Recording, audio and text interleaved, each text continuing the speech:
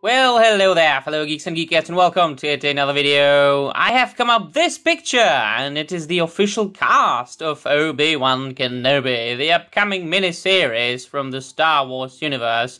I know, I know, I said that I would boycott Star Wars for what Disney did to Gina Carano, but you know me, it's Obi-Wan Kenobi, I have to watch it. I don't necessarily mean I will buy my Disney Plus subscription, and I will always consider Kathleen Kennedy to be the representative of the dark side of the Force. But when you look at the cast, especially the first row. If you look at, if, well, I wanted to say Obi Wan Kenobi because he is Obi Wan Kenobi, and Ewan McGregor.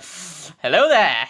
I mean, oh yeah, uh, I mean, Obi Wan, come on! Ewan McGregor as Obi Wan, you, you have to watch it. Hayden Christensen being back as Darth Vader, possibly without the mask, being all scarred and effed up.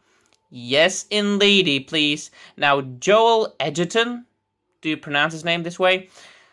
It's a surprise for sure, but a welcome one to quote Emperor Palpatine, or Chancellor Palpatine as he was still back then. Um, here's Owen Lars, uh, a young, young um, Uncle Owen. So yeah, definitely.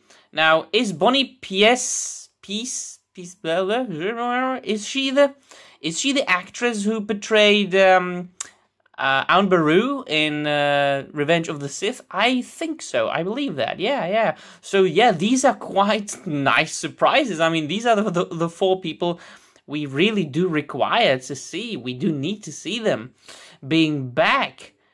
Or, you know, they, they go back all the way to uh, Revenge of the Sith. So definitely, Ewan McGregor, Hayden Christensen, Joel Edgerton, and Bonnie Piesse Peace, whatever her name is pronounced.